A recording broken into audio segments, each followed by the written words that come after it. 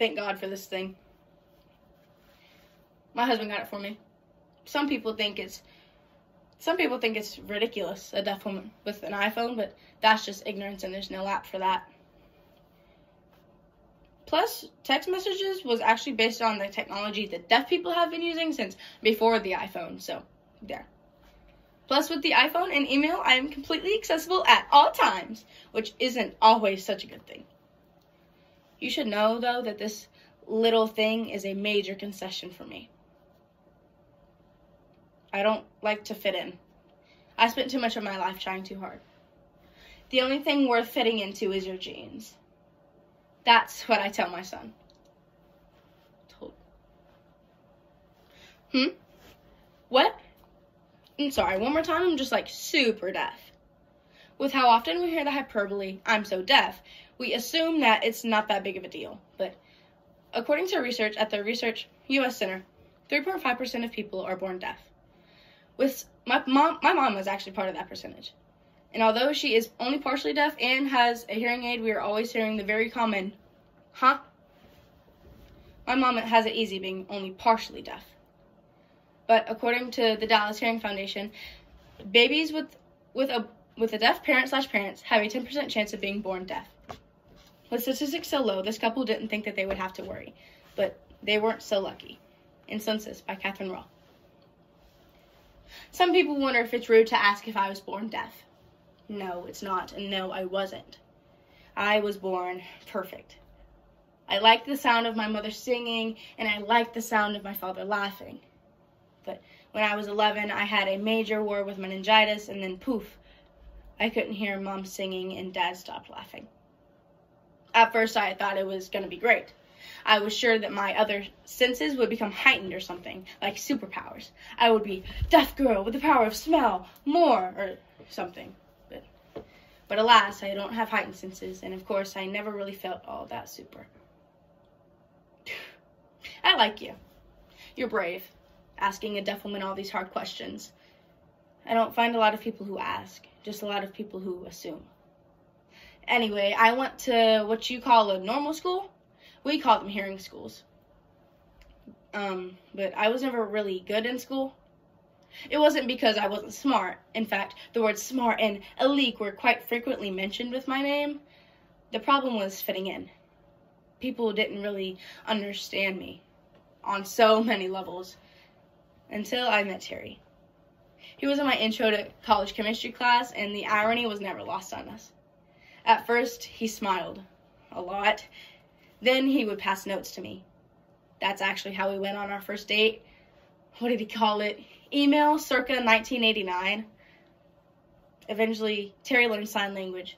His hands were slow and clumsy, but so was my heart, so it all worked out. Terry did not know what he was getting himself into. When we went house shopping, we had to find a deaf friendly house, one that you could see each other from different rooms so that we could communicate. We needed light systems and hardwood floors so that we could find the vibrations of the phone bells when they would ring. He was overwhelmed. We spent eight months looking for a house until we found this place. I think we would retire and die in this house. And when Spencer was born, it really felt like the house was a home. It wasn't supposed to happen. Statistically speaking, deafness is always is almost always one generation thick. Um, but and over 90% of people with deaf par- with deaf parents is born um, is born hearing friendly. So um, Spencer was going to be my normal, loud, musical little boy when we found out that he wasn't going to be that, that he wasn't going to fit in, I made sure, I made the decision that I would never try to make him into something that he wasn't. That is why I insisted against the cochlear implant. It's a device that provides a sense of hearing for deaf people. I wouldn't even discuss it and would purposely ignore the subject when it came up. This, of course, made Terry furious. You aren't thinking of the good it will do. You aren't thinking of our son. You are only worried about your pride. But it isn't about pride, it is about my son. He will be born perfect, and it isn't something that you will have to be fixed. We argued for the last four months of my pregnancy. But when Spencer was finally born, the argument stopped because we were both so in awe of the little man and his big brown eyes. We started him, him in hearing school because Terry uh, wanted him to try it. He was labeled so many things in those first three years. First, he was mute, then he was hearing challenged, then he was deaf, then he was special, then he was hearing impaired, then he was ear disabled. The R word was thrown in there a couple of times. And it was right then that I decided to move him to the Clarke School of the Deaf. For the next six years, he loved school he would come home with slang sign language and new stories about his multitudes of friends. And needless to say, I was proud that I had raised a son who was so comfortable and so happy in the world. Spencer learned about the cochlear implant at school. He said that maybe for his high school graduation present, we could sit down as a family and talk about that personally. I was so mad at him for that. I felt betrayed. Terry told me it wasn't my life and that I needed to let Spencer find his own way. And you can imagine how I took that bit of advice. When I was finally ready to talk about the issue, Spencer smiled and those big brown eyes melted whatever resistance I had left. He said he would do research and bring us home information. On the way out the door, he made some smart aleck comment about how in the future, if I want to get my way, I should remember that the silent treatment doesn't work on the deaf. And that was the last moment that I had with my son alive. You see, he must have been so excited and wanted to show me how wrong I was because if he wasn't that excited, then he would have been more careful. He would have waited for the cross the crosswalk signal. He would have seen the truck coming.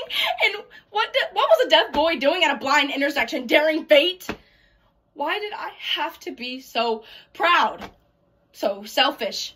When he was born, why didn't I say yes? When he wanted it, why didn't I say yes? Why didn't I listen? I could have done anything other than what I did and he would have been fine. And the worst part was I couldn't even hear the phone ring. Terry's big, slow, clumsy hands had to tell me that my little boy was gone forever.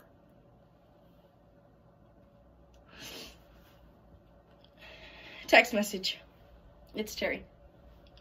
The funeral director claimed the date now I have to text everybody. Thank God for email. I don't even know what to say, even if I tried.